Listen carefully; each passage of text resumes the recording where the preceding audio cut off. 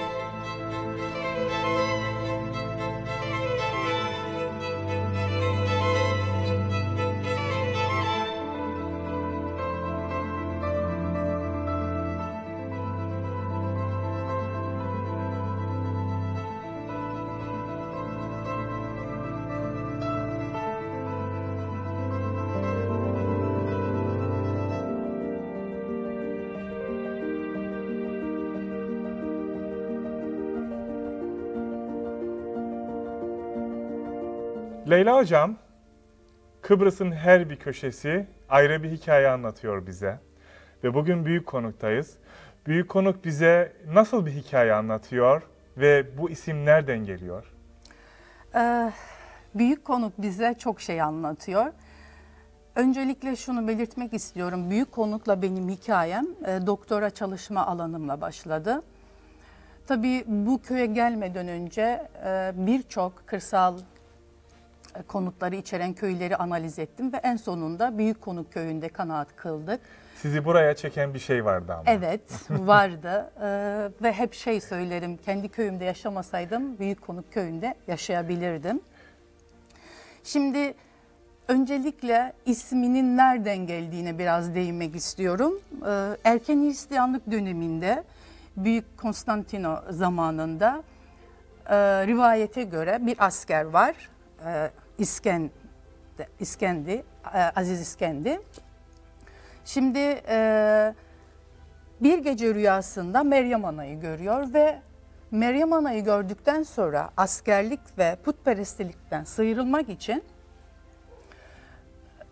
kendini işte ilahi yola adamak istiyor ve bunu oradaki arkadaşlarına anlatıyor. Orada bulundukları bölgede bir gemiye biniyorlar. İlahi bir güç şeklinde kendilerini Kıbrıs adasında buluyorlar. Tabii ki yaklaşık 300 kişi rivayete göre ve adaya geldikten sonra hepsi e, dağılıyor. İşte Aziz İksendi Karpas tarafına gidiyor ve Karpas tarafında ilk gittiği yer Büyük Konuk. Rivayete göre orada Yüdü Dağı'nda bir mağaraya sığınıyor ve ilahi bir hayat sürüyor. Şimdi tabii ki e, o zamanlar gerek yedi konuğa gerek büyük konuk yakın olduğu için aynı zamanda diğer çevre köylere dini vazifelerde bulunuyor ve papazlık, rahiplik yapıyor. Rivayete göre Kilitkaya'da bir psikoposluk da yaptığı bilinmektedir.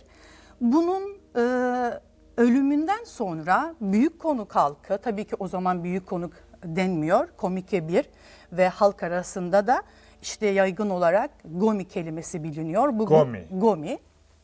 Gomi de e, Aziz İksendi tarafından bu köye e, söyleniyor. İşte büyük konuk ve yedi konuk halkı bizim işte köye gömülecek, onlar hayır bizim buraya gömülecek derken kendi aralarında bir tartışma çıkıyor. Bu tartışma sonrasında e, tamam durun bunu bir şeye var e, bir uzlaşıya uzlaş, varalım. Uzlaşıya varalım diyorlar ve bir affedersiniz öküz arabası getiriyorlar ama bu öküzlerin biri büyük konuktan biri yedi konuktan geliyor ve Aziz İksendi'nin e, şeysini, e, naaşını oraya koyuyorlar ve hayvanları bırakıyorlar serbest. Hayvanla işte tepeleri aşıyor, geliyor derken buraya şu an bulunduğumuz bu mekana, bu kiliseye Ayamavra Kilisesi'ne geliyorlar. Ayamavra şapeli tabii ki o zaman ve Bazıları diyor ki evet burada bir ilahi güç var. Burada olması gerekiyor. Yine yedi konuklar diyor ki hayır olamaz falan gibisinden. Sonra bedeni ilahi bir şekilde e, korunan Aziz İksendi orada kalkıyor ve gomi yani buraya anlamına gelen kelimeyi söylüyor ve orada düşüp kalkıyor. Ondan sonra e, onu buraya defnediyorlar ve o günden sonra da bu kilisenin adı Aziz İksendi Kilisesi olarak değişiyor.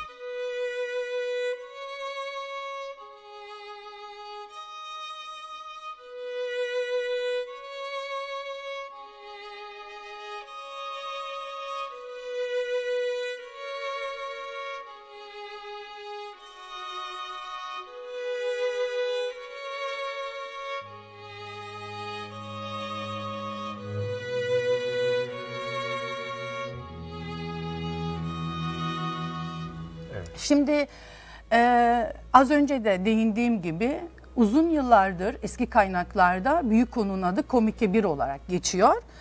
E, Osmanlı döneminde kelimenin işte başın, e, başına büyük yani ulu kelimesi ekleniyor ve büyük konuk olarak kullanılıyor. 1958-59 yıllarında bu kelime yaygın olarak yani büyük konuk kelimesi yaygın olarak kullanılıyor.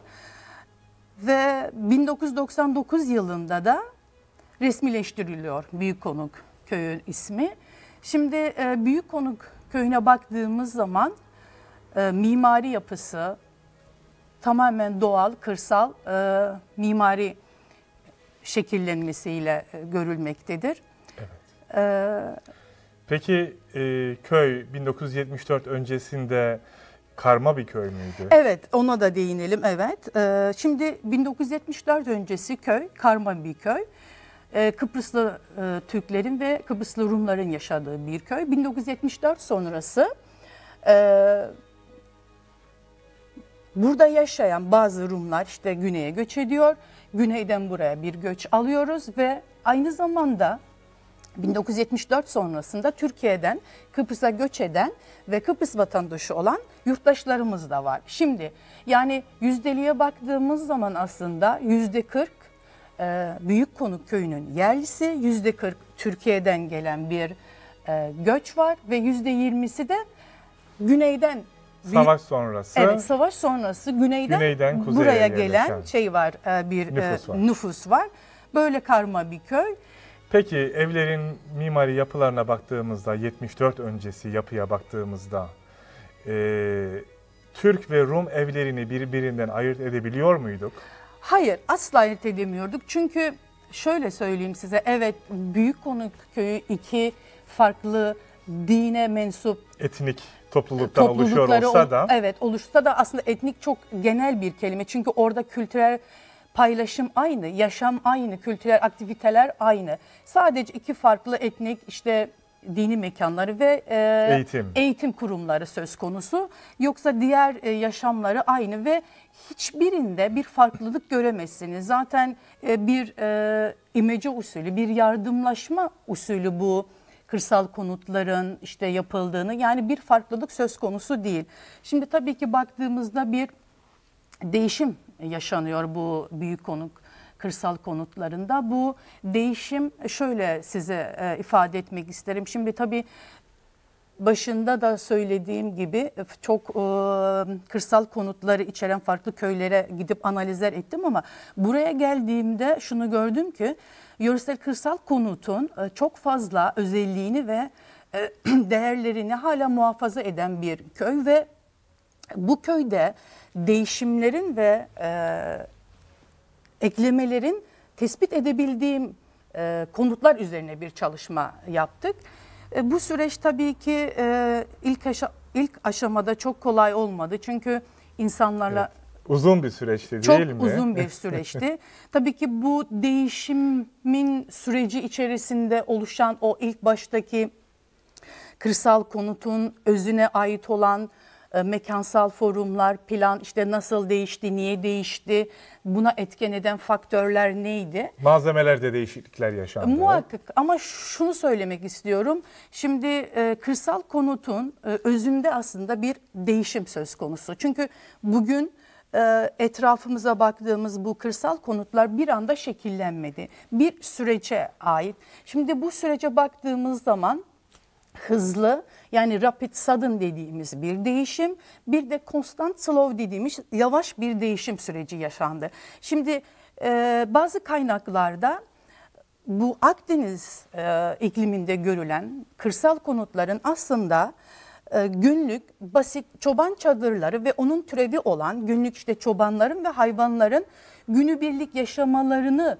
sağlayacak tek mekan yani odadan meydana geldiğini e, ifade ederler. Ve bu mekan tek bir mekan birçok aktiviteleri tabii içinde barındırıyor ve hiçbir bölücüsü yok. İşte e, uyuma mekanı, işte aktiviteleri yapacağı mekan, bütün fonksiyonları tek bir mekanda ve o mekanlara eklemelerle aslında o bugünkü kırsal konutun e, tipolojisi oluştu. Yani orada bir slow yani yavaş ama sürekli bir değişim söz konusu. Bir de tabii ki benim çalışma kapsamında ele aldığımız zaman bir hızlı değişim var. Bu te, bu hızlı değişim de işte aslında göçle oldu. Bu göç hem güneyden gelen bir göç hem de Türkiye'den göçmen gelen e, insanların etkisiyle oluşan bir değişim bu. E, tabii ki bu değişim bir de şuna söylemek istiyorum.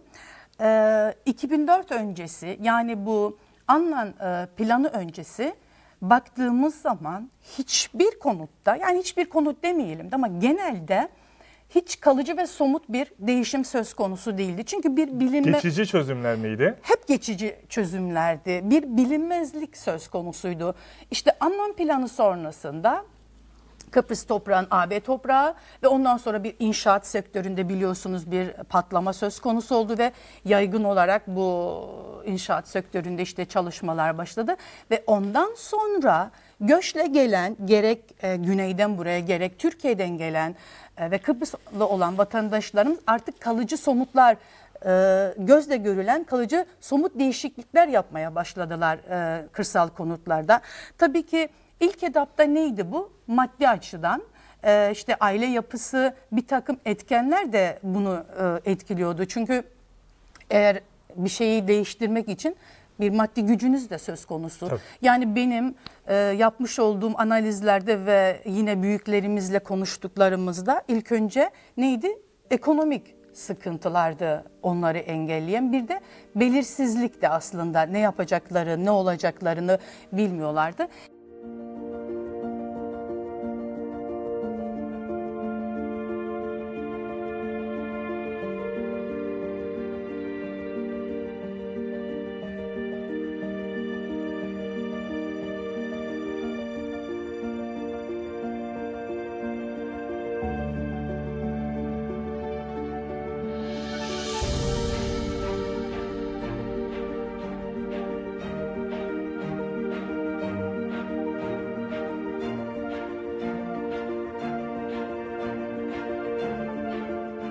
Kaç farklı tipolo ev tipolojisinden bahsedebiliriz? Şimdi tabii evet ona da değinmem gerekiyor.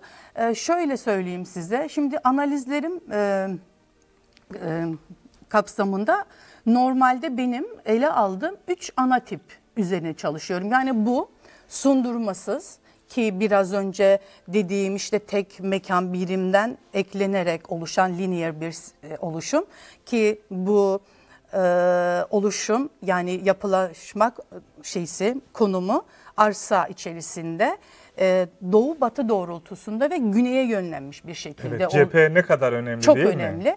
Ve iç sofalı konutlar var. İç sofalı işte ara içte bir şey. Tabii bu yine biraz önce değişimlerden bahsederken size bu constant slow değişimin bu yavaş ama sürekli olan değişimde şayet eğer biz tek birimden oluşup arasına bir sündürme geliyorsa o ikinci bir ara tipin oluşması ve e, en fazla da gördüğümüz ve yaygın olarak da aslında biz kırsal konut de, dediğimiz zaman aklımıza hemen kemerli bir yapının geldiği ki o çok yanlış. Çünkü kırsal konut sadece kemerli yapıyla e, sınır, Sınırlandırılmamalı. asla sınırlandırılmamalı. Ve üç ana e, tipolojiyi ele aldım. Tabii ki bu arada karma tipler de var köyde. Bu karma tipler nedir? Çünkü e, bazı örneklerde işte analiz ettim. Diyelim ki orada da bir iç sofa var. Açık mekan da var bir kısmında ya da ne bileyim işte kapalı mekanla onun entegre edilmiş bir şekli var. Ama bu bizim analizlerimizin dışında tuttuk. Biz sadece 3 ana tip üzerinden ilerledik. Bu sundurmasız dediğim gibi iç sofalı ve sundurmalı. Ee, biraz önce değindim yani kemerli aslında kemer fonksiyonu çok önemli. Yani iç mekan sofası olan iç sofalı ve sundurmalı dediğimizde e, kemerli olan kısımlar e, bir ara geçiş mekanı. Yani Kıbrıs kırsal konutunun aslında en önemli özelliklerinden bir tanesi iç avlu etrafında konumlanmış olması ve bu iç avludan biz bir avluya girdiğimiz zaman bizi karşılayan avlu ve ondan sonra biz işte eğer konutumuz iç sofalıysa direkt iç sofaya ve kapalı mekanlara dağılıyoruz ya da sundurmalıysa sundurma alanına geçip bizi iç mekana davet ediyor mekan. Hocam tarım toplumu olmamızın en belirgin somut örneklerini bu köyde nasıl gözlemliyoruz? Şöyle söyleyeyim aslında büyük konu anlatırken o şeyde e, anlatmamış olabilirim. Büyük konuk eskiden çok fazla su kaynaklarının bulunduğu bir köy. Çok fazla. Şimdi e, büyük konuk işte kuzeyi dağlık bir bölgedeyken güneyi yani güneye bakan yerde düzlük bir bölgede e, gelişmiş bir köy ve Bunu avantaja çevirdiler mi? evet çünkü köy köylü tarım ve hayvancılıkla uğraşıyor tabii ki doğal olarak ve aslında insanların yaşamları yani bu konutlar onların ihtiyaçları doğrultusunda olan mekanlardı. Fazlası onlar için önemli değildi. Ya ne da, kadar basit yaşıyorlar değil evet, mi? fazlaya ihtiyaç yoktu aslında. Sadece ihtiyaç kadar o mekanlar vardı. Yani eskiden biliyorsunuz bu e, tek mekandan bahsettik. Tek bir mekanın içerisinde bütün e, günlük yaşamsal aktivitelerini yaparken bugün öyle değil. Aslında bu değişim yani bu modernleşme sürecinin hayatımıza gelmesiyle insanların e, ihtiyaçları, aile yapısındaki olan değişiklikler, yeni gelen bir neslin e, daha farklı büyümesi bu mekanların doğal olarak değişmesine çok büyük bir şey sağladı, e, faktör sağladı diyebiliriz ve tarım artık o şeyden uzaklaştı kullanıcılar. Evet. Hocam bu köy betonlaşmadan nasibini aldı mı? Şöyle söyleyeyim onu Hüseyin Bey. Şimdi e, yine e, tabii ki e, belki karışık olacaktır ama şimdi İngiliz döneminde Osmanlı'dan sonra Kıbrıs adasını alan İngiliz döneminde bir modernleşme hayatı devreye girdi. Orada işte sanayileşmeden olsun, kültürden, sanattan, sağlık açısından bir yenilenme yavaş yavaş başladı. O zamanlar e, kentlerde işte kirpiç ve ahş, ahşap işte taş kullanımı yokken yani betonarme devreye girdi şeyde e, kentte ama köyde yine ahşap, kerpiç ki çok önemli baş malzemelerden mesela ahşap ve şey taş, e, kerpiç yine kullanılıyordu. Şimdi baktığımız zaman bu e, göçle gelen tabii ki vatandaşlarımızın yerleşmiş olduğu konutların büyük bir çoğunluğu kırsal konutları e, barındırıyor. Bu kırsal konutlar üzerinde betonlaşmaktan ziyade e, ilk etapta küçük değişimler oldu. Yani bu değişimler neydi işte nasıl oldu? Avluda olan, e, uzakta olan tuvaleti yakına çekmesi ya da iç mekana alması e, büyük bir e, oranda betonlaşma demeyelim de kendi içerisinde yani konutun özünü değiştirmeden ufak tefek değişiklikler söz konusu. Yani Çünkü ihtiyaçlar değişti. ihtiyaçlar değişti. Yani şöyle söyleyeyim bir ailede üç çocuk varsa istemiyorlar aynı odada kalmayı. Hepsi kendilerine ait bir oda olmasını istiyorlar. Tabii ki yine benim analizlerim doğrultusunda bunu size söyleyeceğim. Tabii ki o mekan ana dağıtıcı mekan diyelim ki e, bir iç sofalı bir konutta o ana dağıtıcıysa çünkü o geçiş mekanıydı. Aynı zamanda günlük işte oturulan mekandı. İç sofalı konut için söylüyorum bunu. Artık o fonksiyonu tamamen değişiyor. Oturma mekanına geliyor. Çünkü artık birimlere, yandaki kapalı odalara işte mahremiyeti sağlayan o odalara artık farklı fonksiyonlar gelmeye çalışma odası olur çocuğa ayrı işte ebeveyne ayrı odalar e, diyelim işte ebeveyne ayrı bir banyo ve tuvaletin olması yani tamamen iç kısımda ve dışarıda bir takım o betonarme çok onu kullanmak istemiyorum kerpiç yapılar için daha doğrusu kırsal yapılar için ama bir şekilde evet küçük bir dokunuşlar oldu diyelim. Öyle e, bir şeyi var dezavantajı. Çağımız gereği Çağımız diyelim. gereği evet çağımız gereği.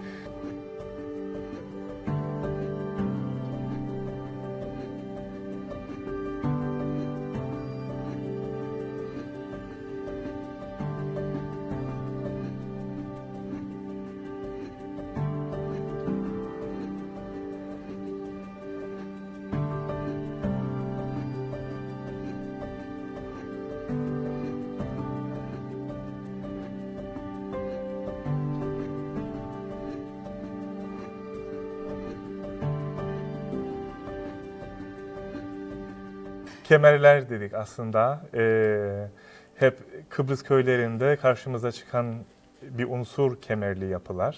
Evet Bu köyde de yaygın mıdır? Çok yaygın. Ee, Şimdi Hüseyin Bey biraz önce söyledim size yani sadece kırsal konudu kemerli yapıyla tabii ki e, ifade etmemek gerekir ama kemer çok önemli. Neden kemer çok önemli?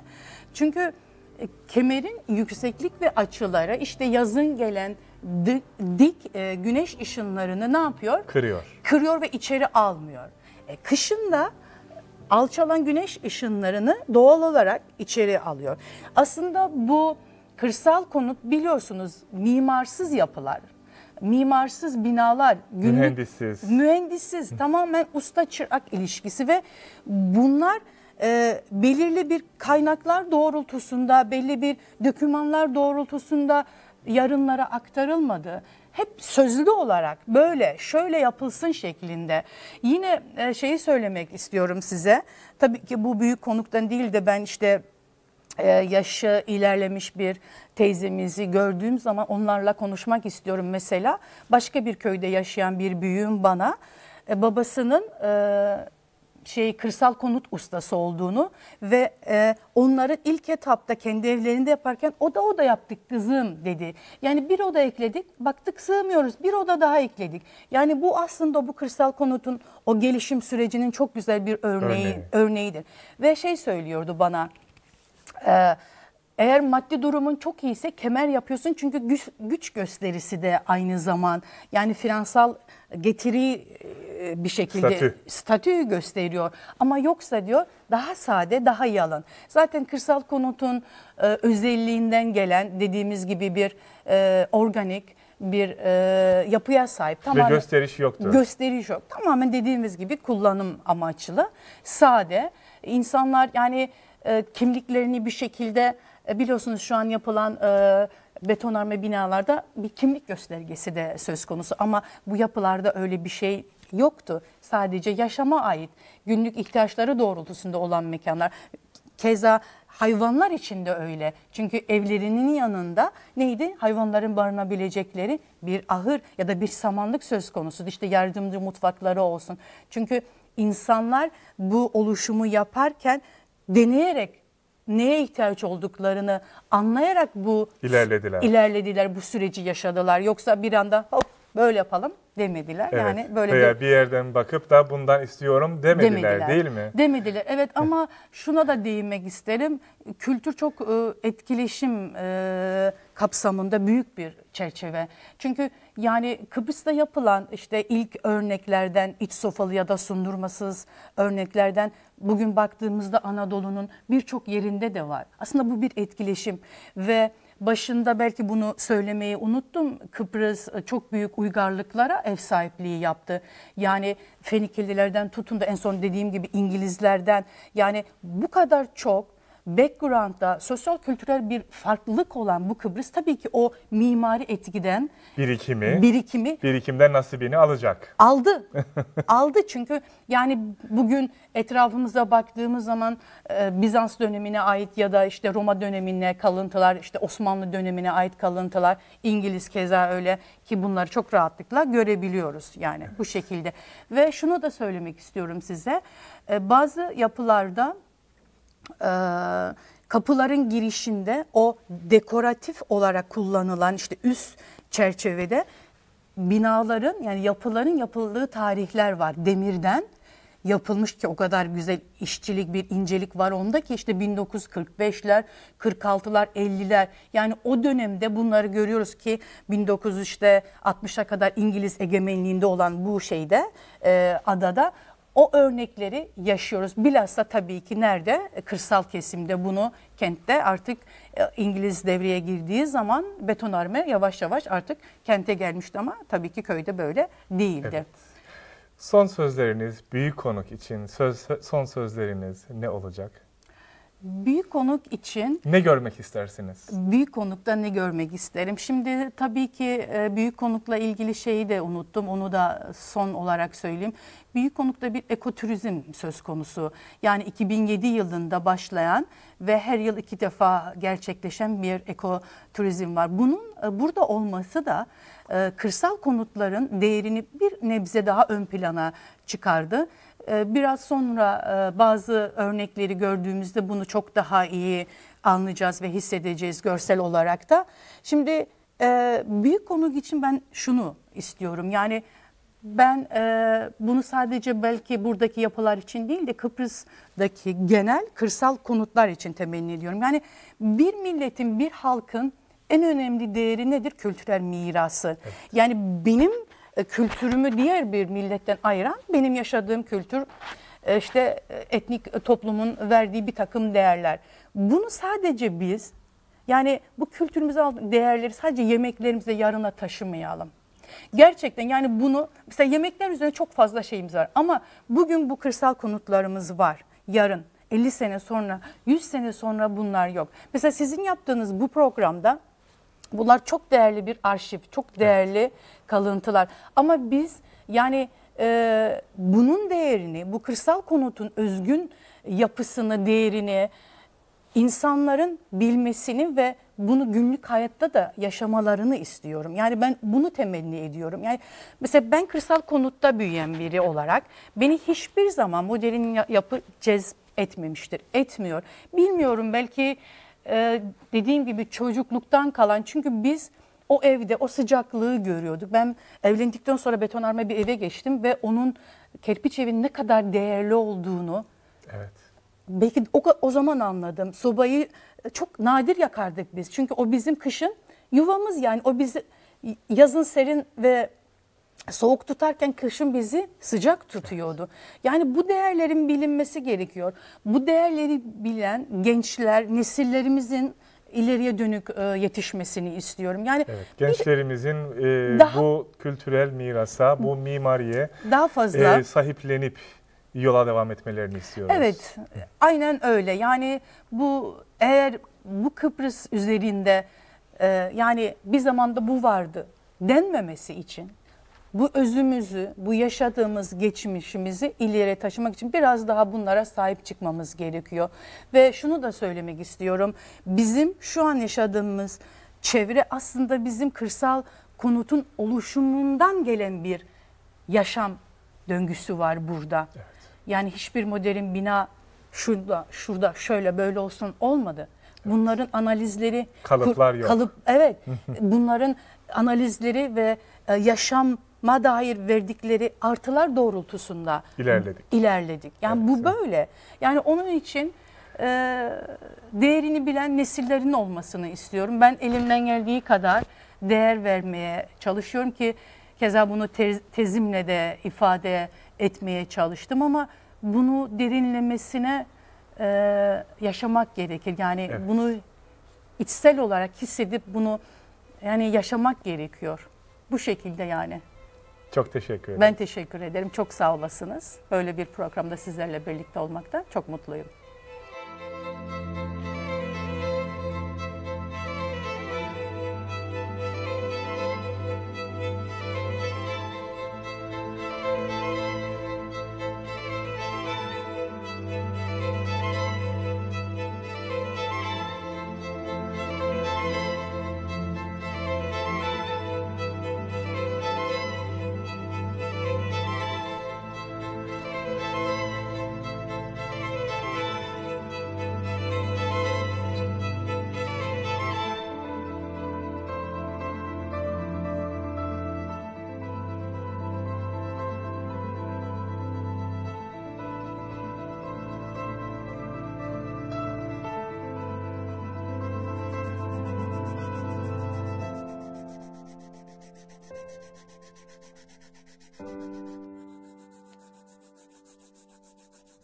Thank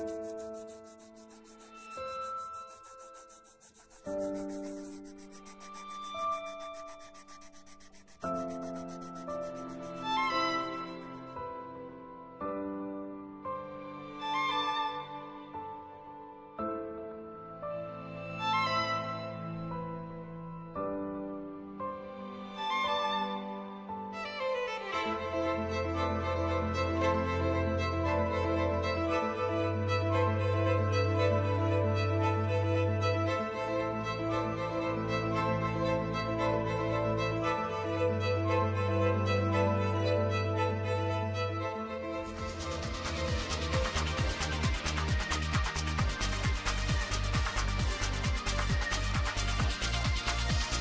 Mimarca programı Mimarlar Odası'nın katkılarıyla yayınlanmıştır.